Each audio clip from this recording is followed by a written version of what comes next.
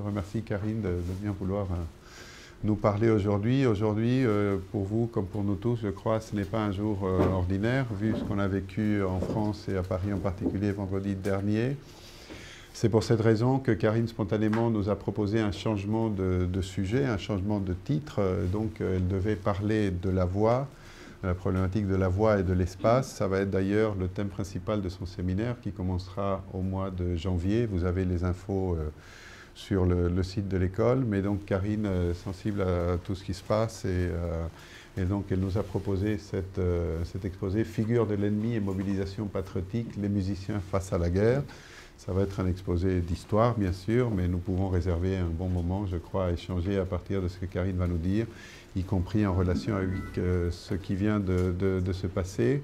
Alors, je ne vais pas du tout faire un discours là-dessus, mais non seulement ça a été euh, un moment terrible pour nous tous, mais en plus, ça ne vous a pas échappé. C'était bien une salle de concert qui était l'une des cibles. Euh, de ces, de ces attentats. Et donc, euh, on est, euh, qu'on le veuille ou non, amené à réfléchir non seulement en tant que citoyen, en tant que personne, mais aussi en tant que personne qui faisant de la recherche sur la place de la musique dans nos sociétés, dans le monde tel qu'il est, tel qu'il va.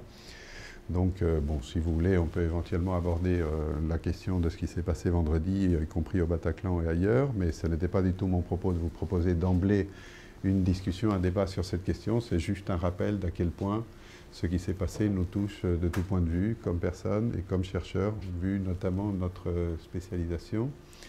Je pense que c'est un peu dans cet esprit, Karine, que tu as voulu nous, proposer cet exposé. Et donc, pour présenter Karine en, quelques mots, euh, Karine est chercheure au CNRS, elle est historienne. Elle est surtout historienne de la radio et de la musique et des pratiques musicales au sein de la radio. Elle a beaucoup euh, publié euh, là-dessus. Bon, la, liste de publications de Karine est très longue, mais je voulais juste mentionner qu'il y a deux bouquins, et pas un seul, qui sont sous presse actuellement, dont un travail très important intitulé La musique au pas, être musicien en France sous l'occupation, qui va paraître prochainement aux éditions du CNRS et un autre ouvrage, Musique et drôle de guerre, Histoire de l'Orchestre national de la radiodiffusion française, également aux éditions du CNRS. Tout ça, c'est le résultat d'un travail très important que Karine a fait sur la question des musiciens à l'époque de l'occupation. Et puis elle a participé à plusieurs éditions d'ouvrages euh, collectifs, euh, notamment un, un, livre important sur Pierre Schaeffer en collaboration avec Martin Kaltenecker, auquel j'ai eu le, plaisir et, l'honneur de participer, paru aux éditions du CNRS il y a deux ans maintenant, euh, oui, deux ans et demi. Euh, donc, euh, comme vous l'avez compris, ces recherches les plus récentes s'orientent vers cette problématique de la voix.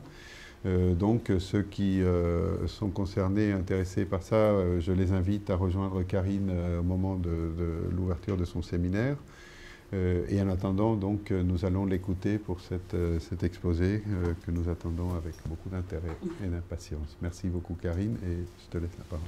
Merci, merci Esteban, merci Violetta, merci Laure pour cette, cette invitation. Évidemment, je me suis posé toutes les questions comme nous tous, mais il y avait effectivement cette, cette, cette séance aujourd'hui qui m'apparaissait, un peu incongru de, de, revenir sur des grands textes de phénoménologie, de de questions de perception en fait de, la, de, ce qui était de l'ordre de la vocalité, euh, d'autant plus, comme l'a dit Esteban, qu'effectivement il était question d'un lieu de musique et qu'on pouvait recroiser à cette notion du lieu, du lieu de musique, euh, d'autres notions qui, qui, nous renvoient directement au champ des sciences sociales, que sont euh, celles de l'engagement, de la responsabilité, évidemment, et de, et de la liberté. Et euh, il se trouve que euh, je suis par ailleurs productrice à la radio d'une émission, euh, qu'on s'est tous posé la question à Radio France de comment réagir à cette actualité en musique, puisque je travaille à France Musique et que nos programmes ont été chamboulés. Il que j'avais une émission sur un opéra contemporain de Gérard Pesson euh, qui, s'appelle La Double Coquette, qui était vraiment euh, une émission plutôt légère euh, sur une comédie lyrique du XVIIIe siècle, retravaillée, revisitée par Gérard Pesson.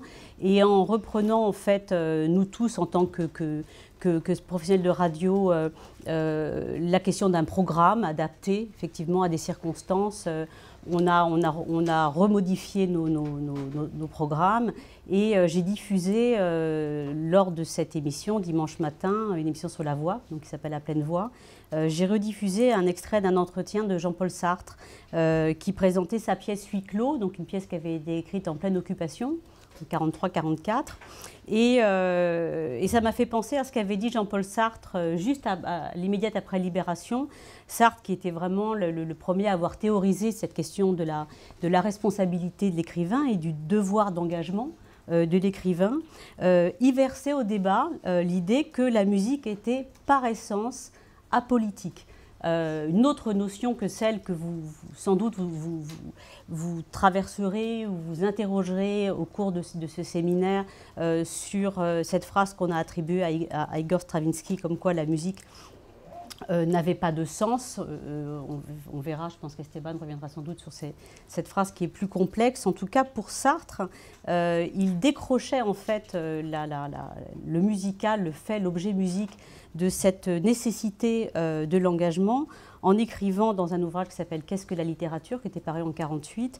il avait écrit On ne peint pas les significations, on ne les met pas en musique. Qui oserait, dans ces conditions, réclamer du peintre ou du musicien qu'il s'engage. L'écrivain, au contraire, c'est aux significations qu'il a à faire. Évidemment, euh, on pourra contester cette vision de Sartre euh, sur la musique, euh, mais je vous propose tout de suite d'écouter justement cette introduction à huis clos que, que j'ai diffusée dimanche, qui est intéressante parce qu'elle se pose la question de l'engagement de chacun, et, de la liberté individuelle, évidemment. La cause occasionnelle, c'est qu'au moment où j'ai écrit Viclos, vers 1943 euh, et début 1944, j'avais trois amis et je voulais qu'ils jouent une pièce, une pièce de moi, sans avantager aucun d'eux.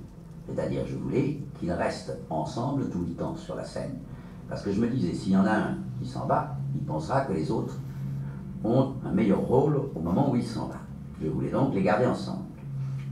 Et je me suis dit, comment peut-on mettre ensemble trois personnes sans jamais en faire sortir une belle et les garder sur la scène jusqu'au bout comme pour l'éternité? C'est là que m'est venue l'idée de les mettre en enfer et de les faire chacun le bourreau des deux autres. Telle est la cause occasionnelle. Par la suite d'ailleurs, je dois dire, ces trois amis n'ont pas joué la pièce et comme vous le savez, c'est Vitold, Tania Balachova et Gabi Silvia qui l'ont joué. Mais il y avait à ce moment-là des soucis plus généraux et j'ai voulu exprimer autre chose dans la pièce que simplement ce que l'occasion me donnait. J'ai voulu dire l'enfer c'est les autres. Mais l'enfer c'est les autres a été toujours mal compris. On a cru que je voulais dire par là que nos rapports avec les autres étaient toujours empoisonnés, que c'était toujours des rapports intérieurs. Or, c'est tout autre chose que je veux dire. Je veux dire que si les rapports avec autrui sont tordus, viciés, alors l'autre ne peut être que l'enfer. Pourquoi? Parce que les autres sont au fond ce qui est le plus important en nous-mêmes pour notre propre connaissance de nous-mêmes. Quand nous pensons sur nous, quand nous essayons de nous connaître, au fond, nous usons des connaissances que les autres ont déjà sur nous. Nous nous jugeons avec les moyens que les autres nous ont donné de nous juger. Quoi que je dise sur moi, toujours, le jugement d'autrui entre dedans. Quoi que je sente de moi, le jugement d'autrui entre dedans. Ce qui veut dire que si mes rapports sont mauvais, je me mets dans la totale dépendance d'autrui, et alors, en effet, je suis en enfer. Et il existe une quantité de gens dans le monde qui sont en enfer parce qu'ils dépendent droit du jugement d'autrui.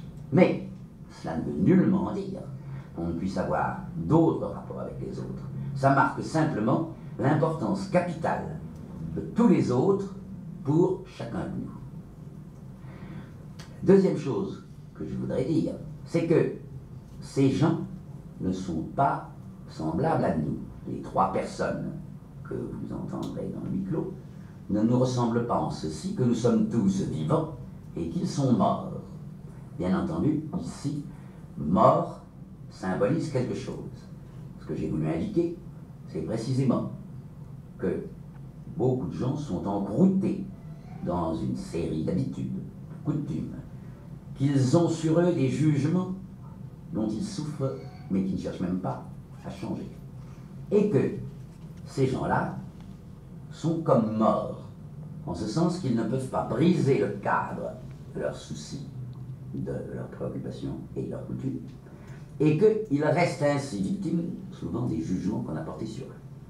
À partir de là, il est bien évident qu'ils sont lâches ou méchants, par exemple. S'ils ont commencé à être lâches, rien ne vient changer le fait qu'ils étaient lâches. C'est pour cela qu'ils sont morts. C'est pour cela, c'est une manière de dire que c'est une mort vivante que d'être entouré par le souci perpétuel de jugement et d'action que l'on ne veut pas changer.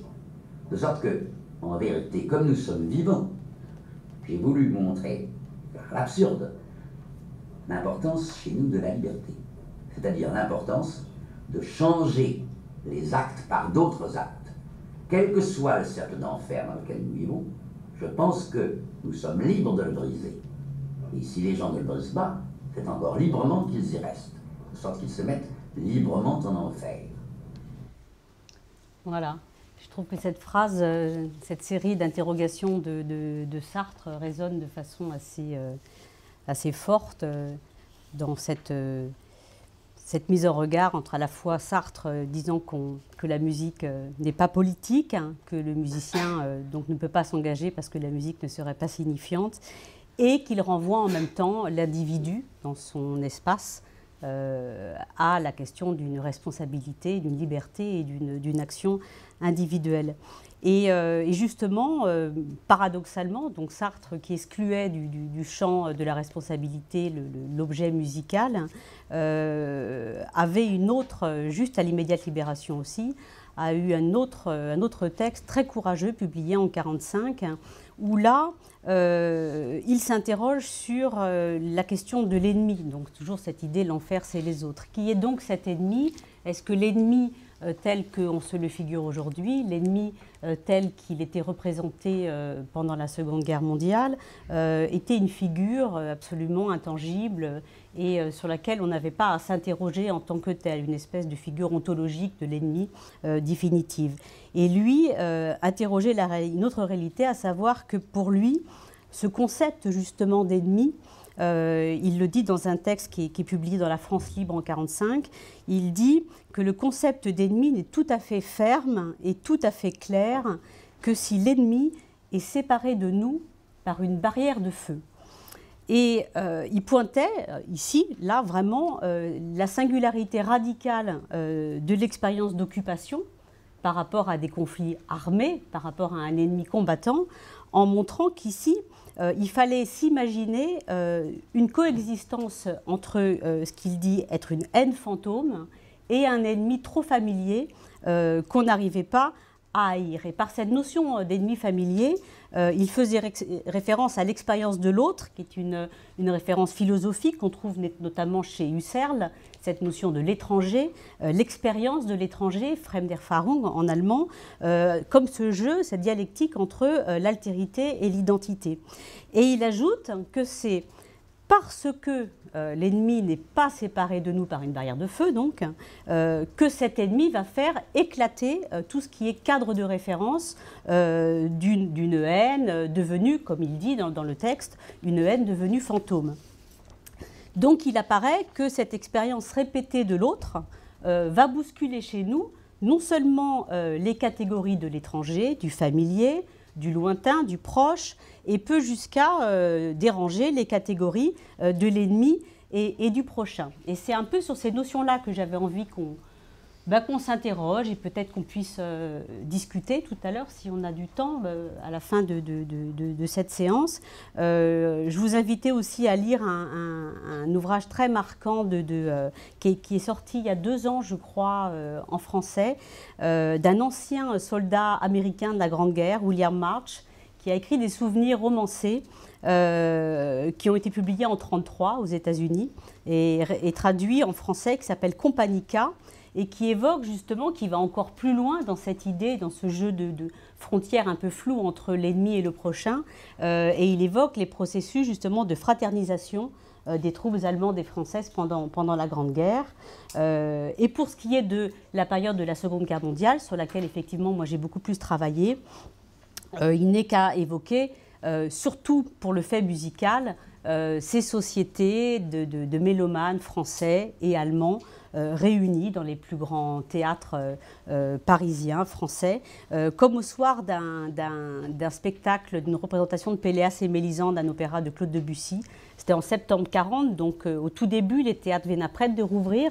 Euh, et dans ce temps suspendu, en quelque sorte, du moment de musique, euh, des Allemands et des Français ont pu éprouver comme des sentiments collectifs, d'émotions collectives, presque des émotions communes. Et une poétesse qui s'appelle Lise de Harme euh, avait consigné dans son journal euh, qu'elle avait assisté à ce moment-là à une espèce de, elle dit, une grande beauté faite de mystère et de compréhension.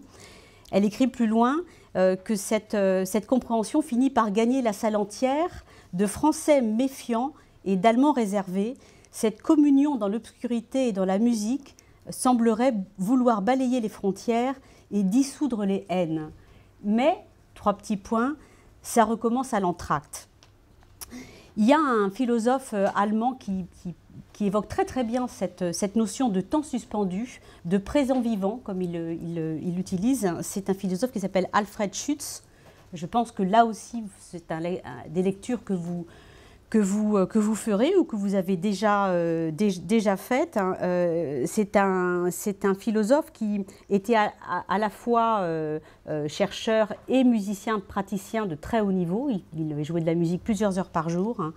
Et il dit que dans le moment de musique, un peu comme Bergson parle aussi de ces moments de temps de, temps de la conscience suspendue, il dit que les consciences reconnaissent réciproquement et immédiatement leur commune mise en présence donc dans cette même dimension du temps et de l'espace, celle qu'on retrouve d'ailleurs dans ce texte de Lise de Harme parlant de la représentation de Péléas et Mélisande. Là où même, en quelque sorte, euh, ni la barrière de la langue, euh, ni cette représentation de l'ennemi euh, ne viennent empêcher cette expérience fondamentale du nous, au fondement de, de, toute communication possible, en quelque sorte. Et suivant cette analyse, dans mes, dans mes travaux, je me suis vraiment interrogée sur euh, la, façon dont on devait considérer les lieux de musique, justement. Donc c'est vrai que ça fait un, écho assez euh, brutal et sordide par rapport à ce qui s'est passé, euh, parce que les lieux de musique ont pu jouer parce que justement ils étaient producteurs d'interactions un peu singulières, celles dont je vous parlais, que ces lieux de musique devaient se distinguer des autres, de tous les autres lieux publics. Euh, que pouvaient être des places, des églises, euh, des salles de café, euh, et que donc ils pouvaient nous offrir un point d'entrée privilégié pour observer justement des populations vaincues et mélangées à leurs vainqueurs, comme, disait Sartre.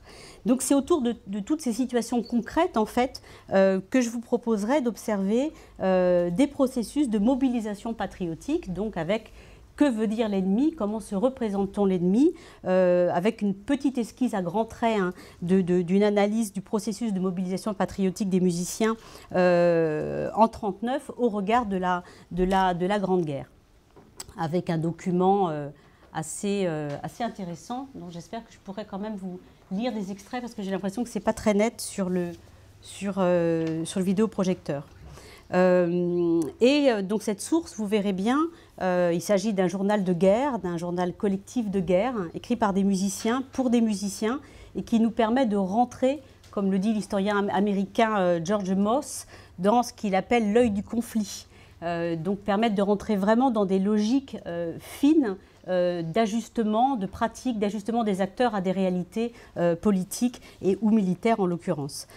Euh, je vous cite tout d'abord euh, l'extrait d'un journal d'un musicien euh, très connu par les violoncellistes, puisque c'est vraiment un des, grands maîtres, un des grands chefs de file de l'école française de violoncelle, qui s'appelle Maurice Maréchal, qui était un jeune poilu, et juste avant d'arriver et de s'engager, en mai 14, il écrit à ses parents, il commence à écrire un journal qui est à la Bibliothèque nationale, qui n'a toujours pas été publié, mais qui est vraiment un document magnifique.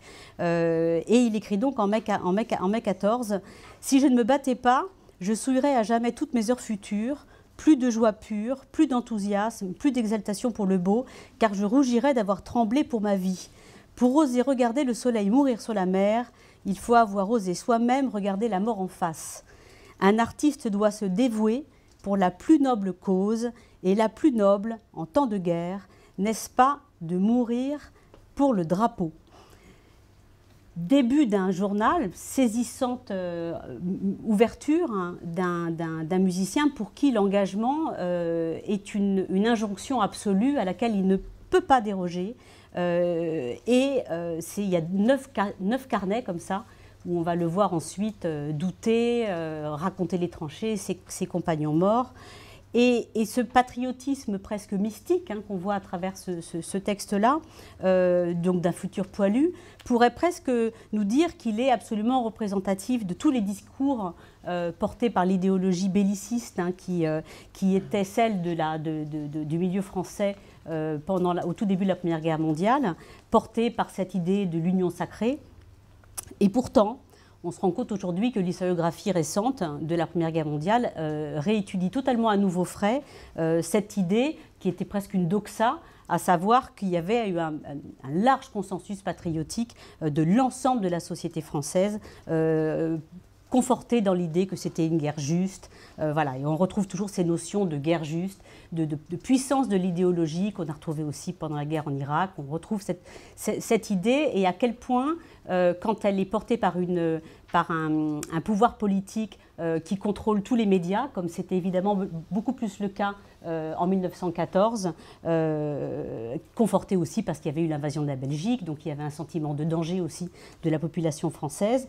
Tout ça avait animé toutes les représentations collectives qu'on pouvait avoir de l'étranger et ravivé évidemment la haine de l'autre. On voit bien en fait que quand on, se débarrasse un tout petit peu de tous ces mythes héroïques, on voit bien que toutes les études un peu plus fines euh, viennent forer, euh, interroger les corps sociaux euh, de façon beaucoup, beaucoup, plus fine. Et on peut s'interroger donc sur qui étaient ces musiciens de 14. C'est une France majoritairement paysanne hein, en 1914. La figure de l'allemand, évidemment, elle reste très, très circonscrite aux représentations qu'on a du soldat de la guerre de 1870. et pourtant, dans le milieu artistique, qui sont les grandes figures des Allemands pour le milieu euh, musical? Ben, C'est Goethe, c'est Beethoven, euh, c'est Heinrich Heine. Donc on peut se demander, en, s'intéressant juste à ce, milieu euh, artistique, littéraire, pictural de 14, quelles sont les représentations et quelle est la nature véritable du patriotisme chez les musiciens, chez les artistes et les intellectuels français? Parce qu'on avait assisté dès le XVIIIe siècle, encore plus renforcé euh, avec le développement euh, de, l'industrie et des progrès des réseaux ferroviaires, on avait assisté à un, euh, une énorme circulation, mise en circulation de toutes les professions artistiques avec un, développement considérable des circulations d'artistes dans toute, l'Europe avec une immigration artistique très importante. Et on pouvait dire que la musique, normalement, aurait dû totalement s'internationaliser. Et paradoxalement, euh, on, le sait, tous ceux qui, qui, qui, fait ici des études euh, d'histoire de la musique, on sait que le 19e siècle est un, est un siècle d'ultra-nationalisation euh, de la musique et, que la musique, paradoxalement, donc cet art abstrait par excellence, se nationalise plus encore que d'autres courants, comme le courant pictural par, exemple. Donc cette idée de, de nation s'impose au 19e et il n'est pas étonnant que des compositeurs comme Vincent Dindy, comme Camille Saint-Saëns, évidemment chez les écrivains on a Maurice Barrès ou on a Léo Daudet, euh, on a euh, cette idée que euh, l'art n'a pas de patrie mais que les artistes en ont une. On verra plus tard pendant, pendant la guerre que les résistants français reprendront euh, à leur actif cette, cette notion de l'art qui n'aurait pas de patrie, mais que les, que les artistes en, auraient une. Donc pendant cette, cette, ce, tout début de, de, 14, 14, 14, 15 en quelque sorte, euh, la figure du poilu est totalement héroïsée et que les musiciens qui sont consignés à l'arrière sont pris de culpabilité euh, féroce et non de cesse de vouloir rejoindre euh, le front. Comme Claude Debussy écrit à son éditeur Durand, euh, Je ne suis plus qu'un pauvre atome roulé par ce terrible cataclysme, ce que je fais me semble si misérablement petit. l'action, la véritable possibilité d'une action doit se passer sur le front. Alors si on se transporte maintenant euh, en 1939, euh, quels sont les mécanismes à l'œuvre euh, dans ces processus de mobilisation patriotique dans le champ musical français, pour rester vraiment dans ce champ musical français? Eh bien on va noter ici d'emblée que les mécanismes de radicalisation politique qui ont été observés dans le champ littéraire par, par, une sociologue française qui donne cours, qui a un cours sur la responsabilité, sur l'engagement euh, Gisèle Sapiro, qui a écrit un ouvrage euh, absolument de référence sur la guerre des écrivains et qui fait un séminaire euh, à la fois d'épistémo et un autre deuxième séminaire sur son engagement que je vous invite à suivre à l'école, a bien montré dans son livre justement que ces mécanismes de radicalisation politique n'ont pas eu d'équivalent dans le milieu musical français. et c'est particulièrement frappant durant le Front populaire, où pourtant ce Front populaire offre des opportunités nouvelles pour les artistes de s'engager dans des, dans des actions pour euh, des musiques populaires. Donc il y a beaucoup de commandes à ce moment-là du Front populaire. Mais euh, comme le dit un historien qui s'appelle Pascal Horry, qui a travaillé sur le Front populaire, il dit que c'est plus par opportunisme que les, que les compositeurs s'engagent, euh, parce que tout d'un coup ils ont une possibilité d'action et de commande musicale, que par un véritable engagement euh, politique, notamment contre le, contre le fascisme. Il y a beaucoup, beaucoup d'associations à ce moment-là de lutte contre le fascisme, et on voit bien que les musiciens, eux, s'engagent à la marge. Euh, il y a une, j'ai pas eu le temps de vous préparer de bibliographie, mais je, je ferai passer par, par TNT, je ferai passer, par ENT plutôt, je ferai passer une bibliographie pour que vous retrouviez justement ces références, que ce soit Gisèle Sapiro ou encore Jane Fulcher, musicologue américaine, qui travaille sur ces, sur ces processus de mobilisation justement euh, politique euh, à droite et à gauche. En tout cas, quand même, évidemment, la politique euh, est devenue quand même un mode de différenciation des positions des compositeurs qui vont se distribuer entre la droite et la gauche de l'échiquier politique. On va retrouver quelques compositeurs plus dans le champ de, la mouvance du Front populaire et du, et du Parti communiste, et puis d'autres compositeurs comme Claude Delvincourt proche de l'action française, du mouvement des Croix de Feu, euh, dont il compose l'hymne d'ailleurs, et donc une partie beaucoup plus conservatrice et qu'on va retrouver souvent dans des mouvements euh, de, la, collaboration pendant, euh, pendant l'occupation. En tout cas, il, on voit bien qu'ici, il n'y a plus du tout à l'œuvre, même s'il n'y a pas eu d'unanimisme, comme cela ça a souvent été dit en 14-18, on voit bien que le chant musical français est beaucoup plus fractionné, euh, beaucoup moins unitaire euh, dans l'entrée euh, dans la, dans, la, Seconde Guerre mondiale que durant, que durant la Première, première Guerre. Donc, en septembre 1939, j'en arrive à cette, à cette entrée dans la, drôle de guerre. la mobilisation générale, comme en 14, va entraîner une désorganisation totale de la scène musicale. il va y avoir une mémoire de la guerre aussi qui va agir parce que dans les orchestres notamment, il y a beaucoup d'anciens poilus qui sont encore euh, musiciens. Donc cette mémoire agit sur les opinions euh, musiciennes du front comme de, l'arrière. Et euh, il y a en quelque sorte deux régimes d'appréciation de l'ennemi. Premier régime d'appréciation, celui du front de la guerre, et ce deuxième régime d'appréciation qui est à l'arrière. Et entre ces deux pôles, tout un espace en fait de représentation qui sont marqués par le rêve du retour, euh, l'expression anglaise du home front, euh, le front de la maison, donc toute une littérature autour qu'on retrouve aussi dans tous les journaux de l'époque, hein. et puis de l'arrière, l'idéalisation euh, du soldat combattant.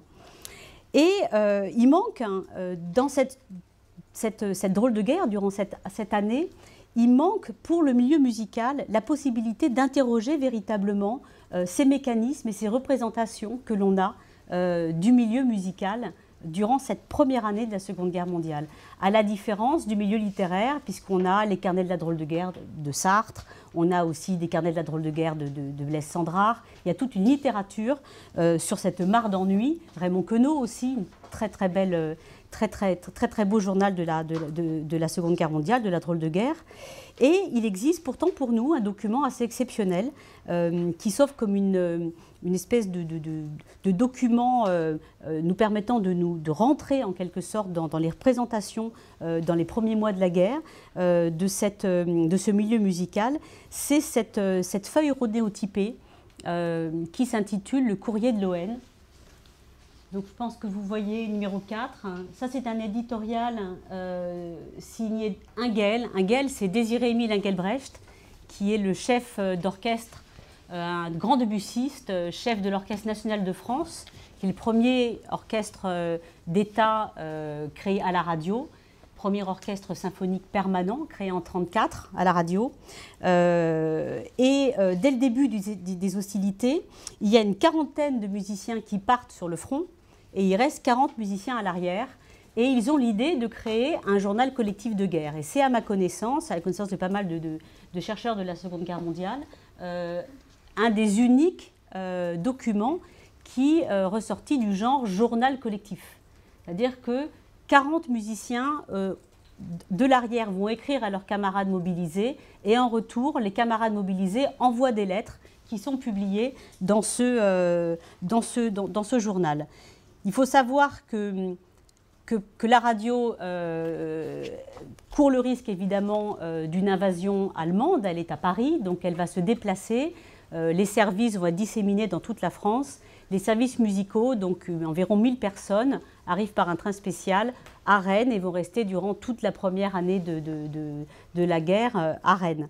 Donc c'est une nouvelle géographie de, la guerre et de la radio en quelque sorte, puisqu'il va y avoir une dissémination de tous les, de tous les ensembles, euh, que ce soit les dramatiques, que ce soit les services politiques, que ce soit donc les services musicaux euh, qui, sont, qui sont à Rennes. L'Orchestre national, il faut savoir, justement parce qu'il représente le premier orchestre d'État français, c'est la voix de la nation. Il joue un rôle de premier plan euh, dans aussi toute la politique et tous les discours qui accompagnent la mobilisation nationale. Donc il joue un rôle indéniable dans la propagande.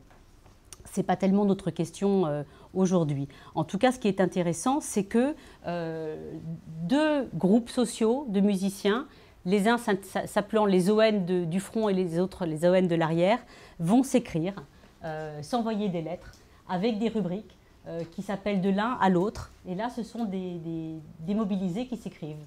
Nous placerons ici quelques extraits de la correspondance que nous recevons de nos mobilisés. Et donc, ça, c'est les musiciens qui racontent leur vie. Euh, et qui nous disent en ces tristes jours, euh, c'est encore l'effort de la cause commune, de notre cause qui resserre et fortifie. Alors ça c'est, ça, c'est le, le, chef d'orchestre qui écrit euh, Où que vous soyez, vous ne devez jamais vous sentir seul, parce que vous savez bien que notre pensée est sans cesse tendue vers vous. Et pour nous-mêmes ici, vous luttez encore à nos côtés quand nous réussissons une belle exécution. Donc on voit bien que là aussi, euh, il y a aussi la, volonté de réactiver cette première, euh, première grande guerre et de dire nous, on a connu la grande guerre, on en est revenu, donc euh, soyez courageux. ceux de l'autre guerre, écrit le compositeur Félix Rogel dans un autre document, mais pareil, on n'arrivera pas à les lire. Félix Rogel écrit aux valeureux artistes de l'Orchestre national et dit Ceux de l'autre guerre qui, comme moi, sont au rencard, parce que lui est trop âgé, comme de vulgaires bourrins démodés, savent quels sont vos mérites et quelle est la reconnaissance qui vous est due. Ils vous disent, malgré les épreuves, l'inconfort, les privations physiques et les angoisses du cœur, gardez la belle humeur des braves et surtout, ayez la certitude bien verrouillée que vous reviendrez, car on en revient. La preuve, c'est que je vous écris. La consigne, c'est de ne pas chialer. Une autre rubrique constitue un, matériau magnifique euh, avec ces courriers démobilisés. C'est, euh, voici, donc de l'un à l'autre, c'est ces lettres que les uns s'écrivent avec ces réponses euh, de musiciens qui racontent euh, l'ennui dans les, dans les camps, euh, l'impossibilité de jouer de son instrument, la peur de rester de, de, longs mois sans, sans, sans, jouer et de perdre son niveau musical. Il y a le courrier comme ça d'un violoniste qui écrit Infirmé dans un train sanitaire, je vis dans un wagon avec un brave paysan, un violon et des bouquins car c'est l'oisiveté complète tant que nous resterons ici. Je n'ai jamais autant travaillé mon violon et j'aurai probablement l'impression, lorsque nous monterons là-haut, de partir pour une bonne tournée de concert en Europe centrale. Donc on voit bien à quel point ce journal, euh, il occupe une place essentielle pour les musiciens qui attendent, surtout les musiciens mobilisés, qui attendent évidemment avec impatience de, le recevoir. Euh, il s'amuse aussi à essayer de distraire leurs camarades avec, donc il y a des, il y a des mots croisés, il y a des blagues. Alors, par exemple, alors ça c'est un des musiciens qui s'appelle Lang et qui est violoniste et qui avec, avec des phrases, bon ça nous fait pas tellement rire, mais je vais voir si ça vous fait rire quand même. Pour fêter l'élection de son père, la fille d'un député joue au piano un concerto hérissé de difficultés. De qui est ce morceau? demande une dame. De Liszt. Ah oui, l'auteur du scrutin. Non, ça vous fait pas rire. Liszt, l'auteur du scrutin. Bon, c'est pas grave. Faut que ce soit écrit. Ben, la liste, hein, voilà. voilà. Non. Enfin, moi, je trouve ça, au bout du compte, je trouve ça drôle parce que je trouve ça tellement. C'est potache, quoi. C'est vraiment. Euh, puis quand on connaît bien le milieu des musiciens et d'orchestre, euh, c'est un humour potache, moi, que je. Ah oui. ah oui, tout à fait. Moi, je m'y retrouve euh, parfaitement. Mais... Et alors, il y a aussi des compositeurs qui écrivent aux, qui écrivent aux, musiciens, comme Darius Milhaud, qui leur écrit Mes chers amis de l'ON, depuis la guerre, je pense à vous tous à tous ceux qui sont aux armées exposés aux dangers de la vie militaire. Euh, je vois en parcourant le courrier de l'ON combien les camarades des armées souffrent du manque de musique et la joie qu'ils éprouvent lorsqu'ils peuvent arriver à en faire un peu. Souhaitons qu'en 1940, que 1940 nous ramène la victoire, la paix, la douce paix et la réunion de l'orchestre national au plus, complet, plus magnifique que jamais. Il y a aussi les compositeurs comme Louis Betts qui envoient des, colis, des mandats, euh, qui jouent des chèques euh, représentant un certain métrage d'andouille bretonne et suffisamment de calva pour saouler plusieurs pupitres de trois petits points euh, censurés. Donc on voit bien à quel point euh, ce document est, un document qui rend compte à la fois de, de, euh, bah, de, la solidarité naturelle, de cet esprit de corps qu'il y a entre les, entre les musiciens, surtout dans un corps social constitué qui est, qui est un orchestre symphonique, et puis en même temps une forme de déréalisation de la guerre. C'est un peu le cas de toute façon durant cette drôle de guerre où, où l'ennemi réapparaît comme lointain, et en même temps ces musiciens sont totalement euh, inconscients des enjeux politiques qui, les, qui, sont pourtant absolument au cœur de, euh, de, ces premiers mois. Et autant les écrivains euh, font valoir toutes ces interrogations sur le bien fondé de la guerre, autant chez ces musiciens, on, on est vraiment sur, un, ben, sur des échanges qui sont très factuels, où on s'échange des informations, des petites blagues. on montre aussi qu'il y a un service aux armées qui se crée qui est pris, qui est pris en charge par Alfred Cortot, qui avait déjà créé un service aux armées pendant la Grande Guerre et qui va de nouveau euh, offrir ses services pendant la, pendant la, drôle de guerre, qu'on retrouvera plus tard euh, à, Vichy. Mais euh, si ce journal collectif de guerre offre un terrain empirique, en quelque sorte, d'enquête pour savoir quels sont les, les, processus de mobilisation patriotique du musicien, on voit bien que le musicien encore à cette période-là, ne se pose pas la question de savoir quels sont les ressorts de cette guerre, quelle est la légitimité de cette guerre, et va se trouver totalement pris au dépourvu euh, au moment euh, de, la, de, la, guerre éclair et, euh, et de l'occupation du territoire national. Et c'est là que je vais en arriver à, la deuxième partie de, de, mon exposé, qui, qui, va nous renvoyer à cette notion de l'ennemi familier, de l'ennemi lointain, et de la nécessité d'une responsabilité de l'artiste en situation de crise euh, nationale.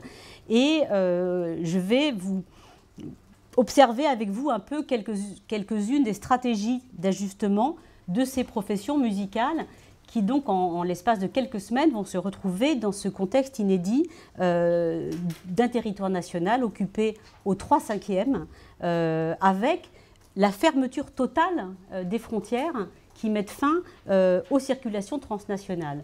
Je vous parlais tout à l'heure que du 18e au 19e, il y avait eu ce grand mouvement euh, d'ouverture, de circulation euh, des professions musicales, et que cette fermeture doit être pensée en tant que telle comme, un, comme un point d'entrée très intéressant pour observer justement les, les, processus mis à l'œuvre dans ce milieu musical. Donc l'entrée par les, les espaces comme catégorie d'analyse. Dans le milieu euh, des historiens, on parle du spatial turn, euh, comme il y a euh, le visual turn, comme on retrouve sensitive turn. Donc c'est toute cette historiographie anglo-saxonne, mais qui est très intéressante dans la mesure où on invente de nouvelles catégories de pensée, d'analyse, pour observer des, des, réalités sociales, politiques et sociales, qui parfois nous échappent justement quand on ne s'interroge pas et qu'on ne s'arrête pas sur ces fractures que peuvent représenter, en tout cas dans le milieu du musical, ça paraît absolument évident, la fracture que ça peut représenter pour un musicien de plus pouvoir faire de tournées, alors qu'on sait bien que c'est par la tournée, par le mouvement, par la présentation d'une scène à l'autre, par la formation aussi qui passe par euh, en allant à l'étranger, se, former, se, euh, progresser. C'est comme ça que se construit la carrière euh, d'un artiste. Alors évidemment, cette présence continue dont nous parlait Jean-Paul Sartre, cet ennemi trop familier qu'on n'arrivait pas à haïr, cette présence continue de soldats allemands sur les scènes françaises et sur, devant lesquelles on va devoir se trouver en position de jouer ou de ne pas jouer, va évidemment ouvrir une infinité de questions, à savoir euh, est-ce que jouer engage Et si écouter, c'est agir Est-ce que écouter, c'est agir? Alors dans ces cas-là, jusqu'où il faut élargir la notion de scène? Est-ce que ça englobe à la fois ceux qui jouent et ceux qui écoutent? Est-ce que l'on est responsable d'aller écouter un concert en situation d'occupation, donc euh, les grandes tournées des, musiciens allemands se présentant dans les grandes salles parisiennes euh, Est-ce que le spectacle des populations euh, vaincues, occupées, qui faisaient la queue à l'entrée de tous les grands théâtres pour acclamer les solistes allemands, n'a pas contribué à offrir une image forte de la nouvelle Europe des cultures sous domination allemande telle, qu'elle était annoncée par les propagandistes nazis?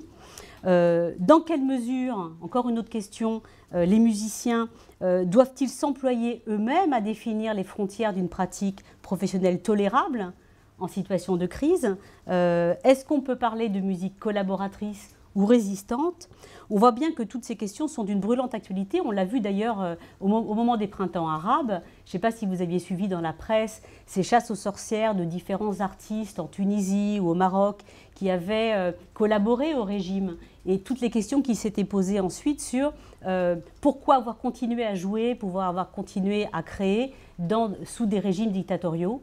Donc on voit bien que toutes ces questions-là, elles traversent le temps et que les interroger euh, encore et encore euh, sont une, façon à la fois d'historiciser euh, ces questions et de voir en même temps qu'elles sont profondément actuelles et que, que les questions et les réponses qu'on a apportées au sortir de la guerre à ces positionnements des artistes, évidemment, nous donnent en tout cas quelques clés de compréhension.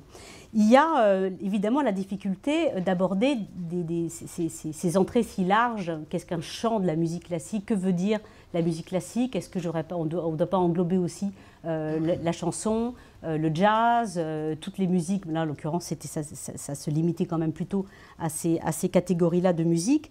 il est sûr qu'en tout cas, la démarche d'un chercheur doit être à toujours de réduire une échelle d'analyse, en tout cas de se fixer la bonne échelle d'analyse euh, pour pouvoir euh, enquêter sur ce monde social.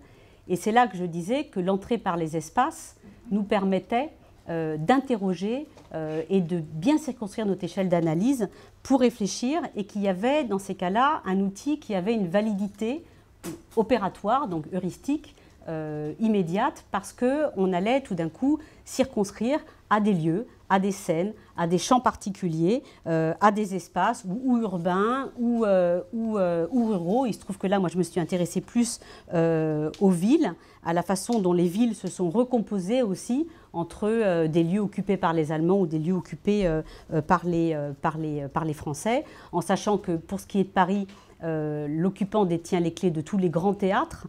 Euh, il réquisitionne les grandes salles parisiennes, donc le, théâtre du Châtelet, le palais de Chaillot, euh, la salle Pleyel, le théâtre des Champs-Élysées, le palais Berlitz. Tous les grands lieux sont évidemment à lui.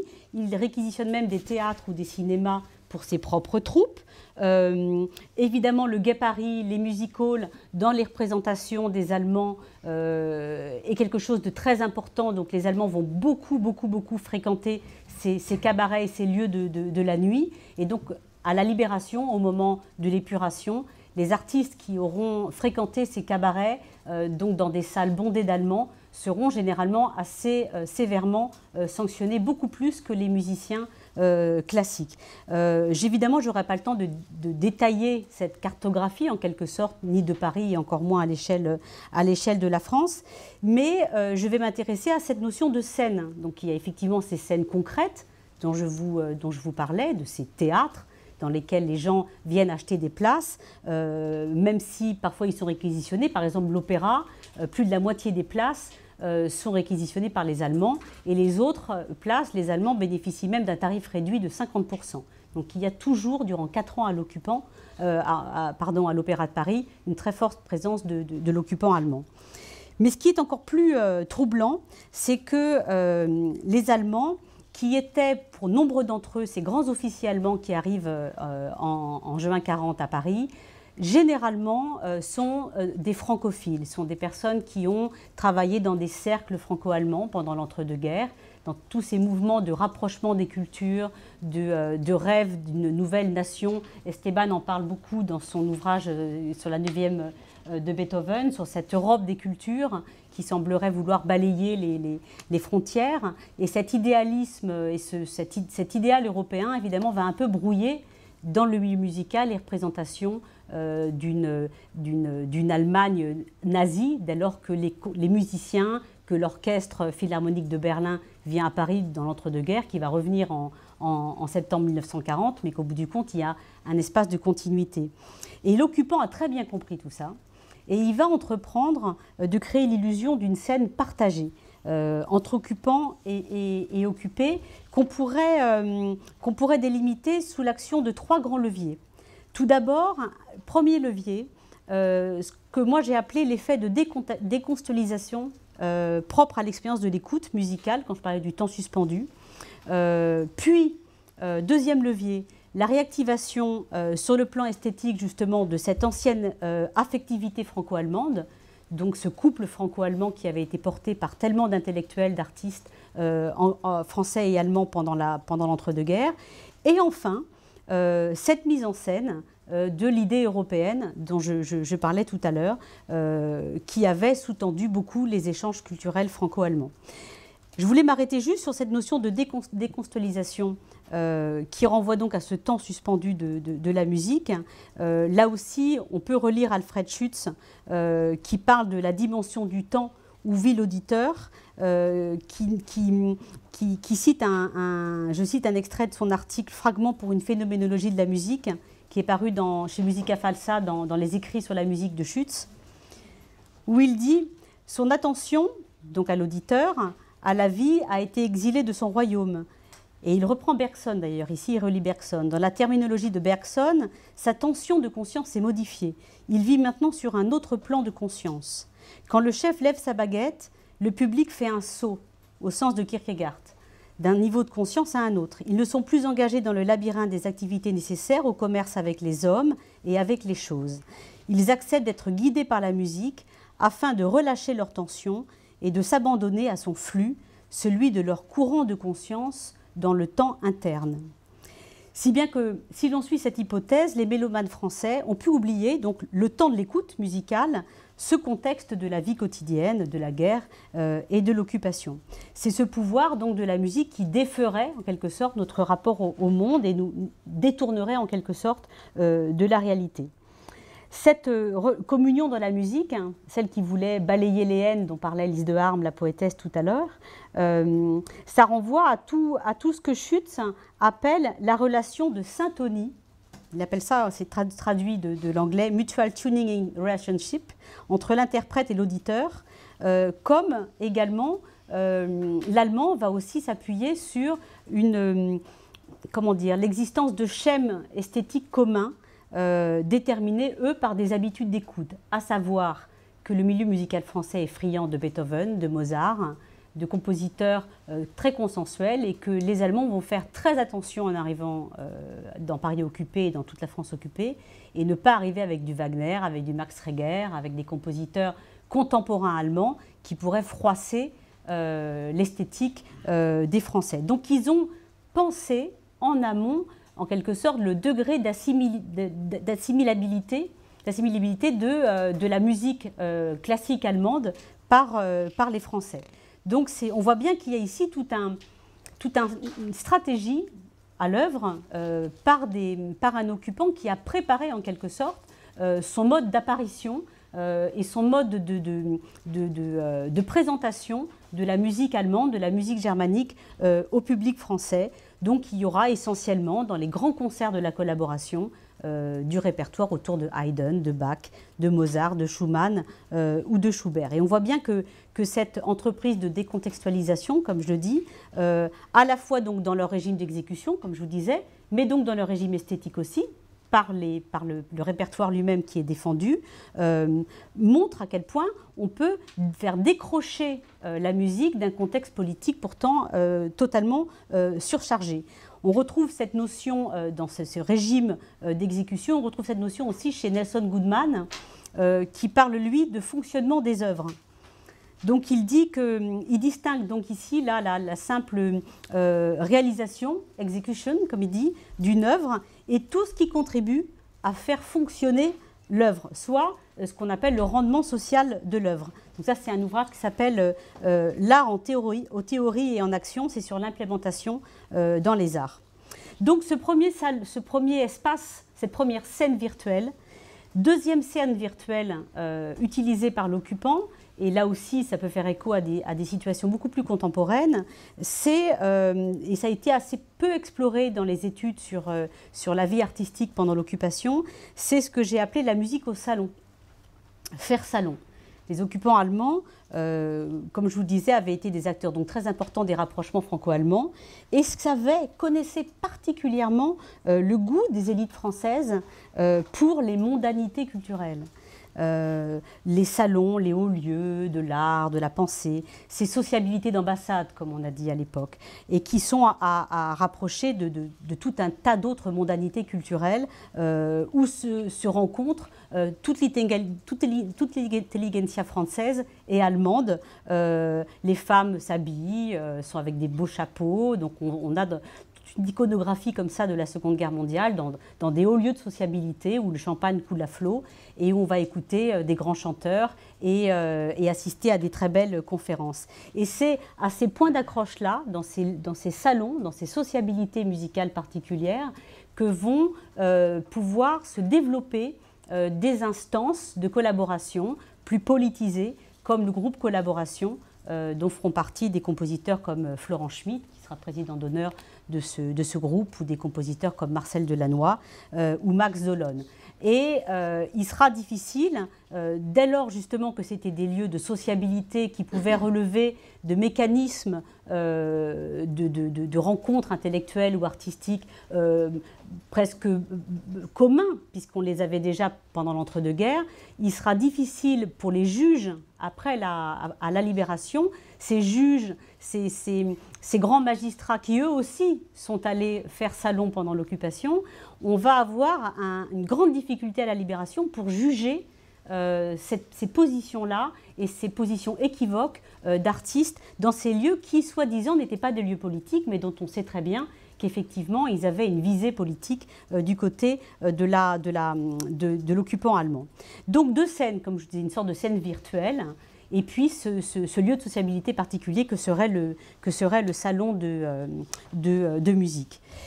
Un autre élément qui, euh, qui doit être versé au, débat dès lors que l'on veut s'interroger sur les, professions, les professions artistiques, c'est que le monde social de la musique dite savante doit se distinguer d'autres mondes sociaux comme le milieu littéraire ou comme le milieu pictural et qu'il serait plus à rapprocher euh, du milieu de la danse. Il y a une sociologue qui s'appelle Sylvia Faure qui a écrit un livre qui là aussi euh, est très intéressant pour nous, même si en soi ça parle de danse, euh, et pourtant elle montre que les musiciens classiques, à la différence des jazzman, à la différence des musiciens de variété, des comédiens ou des écrivains, sont soumises, comme elle l'écrit, à l'apprentissage très précoce du dressage du corps. Et cette notion de dressage euh, est assez intéressante euh, si l'on pense au conservatoire pour les musiciens ou à l'école de l'opéra pour les, pour les danseurs. Elle, elle, parle ici de cette convention, le code qui va permettre de, définir, euh, de façon d'ailleurs souvent assez informelle, hein, l'ensemble des décisions et des techniques qui vont permettre d'engendrer l'interprétation, donc classique ou de danse ou de, ou de musique. Et elle, Sylvia Faure dit que cette, ce modèle de la discipline, avec son esthétique de l'effort, du dépassement de soi, on retrouve toutes ces notions-là assez fortes, encore plus évidemment dans les années 40 qu'à l'heure d'aujourd'hui, euh, confère à l'interprétation musicale une dimension technicienne très forte. Euh, ça ne veut absolument pas dire qu'il n'y a pas de discipline, d'effort et de dépassement de soi dans les autres genres musicaux, mais que celle-ci est, consubstantielle même à l'apprentissage euh, de la musique, qui assure en retour au milieu de la musique classique ce qu'on appelle, ce que des, euh, sociologues américains comme, Abbott parlent de domaine de juridiction, donc avec un sentiment d'expertise très fort, donc comme des clés d'entrée pour pouvoir accéder ou pas à ce monde-là.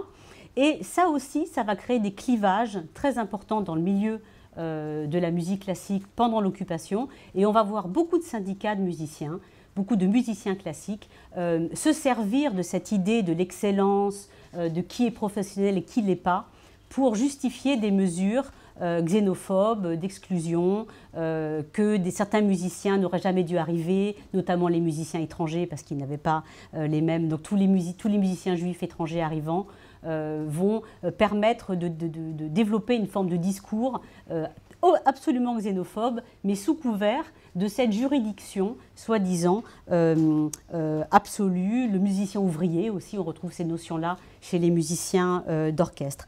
Et même si cette dimension technicienne constitue aussi la clé de voûte d'un syndicalisme très fort, et de, réseaux de solidarité très importants qu'on verra à l'œuvre dans les, mouvements, notamment euh, qui vont se constituer au sein des orchestres de mouvements résistants, notamment à l'opéra. Euh, les esprits de corps aussi entre, musiciens, parce que ce sont des amitiés, des solidarités qui, sont très très fortes. Euh, on voit bien que ce modèle de la discipline constitue un cadre d'analyse absolument déterminant pour appréhender le comportement des musiciens. A fortiori parce qu'à la différence du milieu des intellectuels français, euh, on est dans un milieu qui est assez conservateur, puisqu'il intègre de lui-même, de facto, ce modèle de la discipline et de la soumission à l'ordre établi. Euh, la discipline, la hiérarchie, la puissance du maître, les relations maître et élève, et que tout ça euh, ne, n'aide pas beaucoup les artistes, hein, les musiciens, à sortir du modèle euh, de, la, de, la, soumission à l'ordre établi pour rentrer en résistance. Et c'est sans doute une des clés d'explication euh, de la, du faible engagement des musiciens classiques dans les instances de la résistance, alors qu'on verra en revanche les musiciens très syndiqués, donc proches de leurs compagnons ouvriers, machinistes, techniciens, les musiciens très syndiqués, eux, rentreront en résistance. Donc il y a une forme de clivage comme ça politique qui s'est instauré et dont on peut penser que euh, ces lignes comme ça euh, entre modèle de la discipline et possibilité de, de, dissidence par rapport à la discipline euh, restent des clés d'explication. on voit bien aussi, évidemment, là j'ai l'impression d'être assez schématique dans la façon dont je vous présente les choses, évidemment vous vous doutez bien que le, milieu de la musique classique est, est marqué par une hétérogénéité sociale phénoménal entre un musicien d'orchestre, euh, le compositeur qui relèverait plus de, du champ des professions dites intellectuelles. Hein, ça, c'est euh, Jane Fulcher qui a sorti un ouvrage qui s'appelle Composer as an Intellectual, qui vient d'être traduit. Je ne sais pas où d'ailleurs, euh, Esteban, il est, il, est, en, il est en phase de traduction, non? Il va bientôt. ouais, je crois qu'il est en phase de traduction. Mais bon, de toute façon, vous pouvez le lire en, anglais. Et vous voyez bien qu'effectivement, que euh, ce, milieu de la musique classique est soumis à tout un ensemble de contraintes liées à leur propre ethos professionnel d'une formation très académique et également à la différence là aussi des écrivains euh, ou des peintres. Ils sont soumis plus que d'autres à des contraintes socio-économiques euh, majeures dans la mesure où ils dépendent, ce sont des arts de la scène, et ils dépendent de la, de la demande. Ils ne peuvent pas s'extraire de, euh, de, ce rapport entre offre et demande et qu'il euh, va être très difficile pour les musiciens effectivement de s'arrêter de jouer. Et là va se poser la question des limites éthiques que l'on se fixe pour jouer, oui ou non, dans la radio d'occupation allemande Radio Paris, oui ou non, dans des galas de propagande. Mais il est évident aussi que dans, le contexte de crise et de pénurie induit par la, par la situation d'occupation et la fermeture des frontières, euh, ces conflits éthiques vont prendre des, proportions absolument euh, capitales et vont, euh, vont devoir nous, nous, à chaque fois être au cœur de notre interrogation quand on va s'interroger ensuite, au sortir de la Seconde Guerre mondiale, sur les jugements de ces, de ces musiciens et des actions qu'ils ont pu mener durant, durant ces quatre années. Donc, je vais peut-être laisser du temps pour la discussion. peut-être pour conclure quand même, euh, on voit bien euh, ici tous ces jeux. Euh, je, vais vous montrer un petit peu de façon, avec quelques lectures, tous ces jeux d'interdépendance en fait entre les dimensions sociales, politiques, esthétiques, de formation aussi, qui sont à l'œuvre pour penser cette question de la responsabilité de l'artiste et la question de l'endroit même où se situe, où se situe, où se situe l'artiste. Et je conclurai avec ce mot de Brecht à son ami le compositeur Pauline Demitz. C'était euh, c'était quand, juste après l'incendie du Reichstag euh, dans l'Allemagne nazie en, février 1933, Brecht fut l'Allemagne et son ami euh, Pauline Demitz lui décide de rester encore quelque temps. Il va vite être attaqué par Goebbels, sa musique interdite, et, il n'aura pas écouté la mise en garde de son ami Brecht qui lui avait pourtant écrit La musique n'est pas une arche de Noé qui puisse vous faire traverser sans dommage le déluge. Voilà, je vous remercie.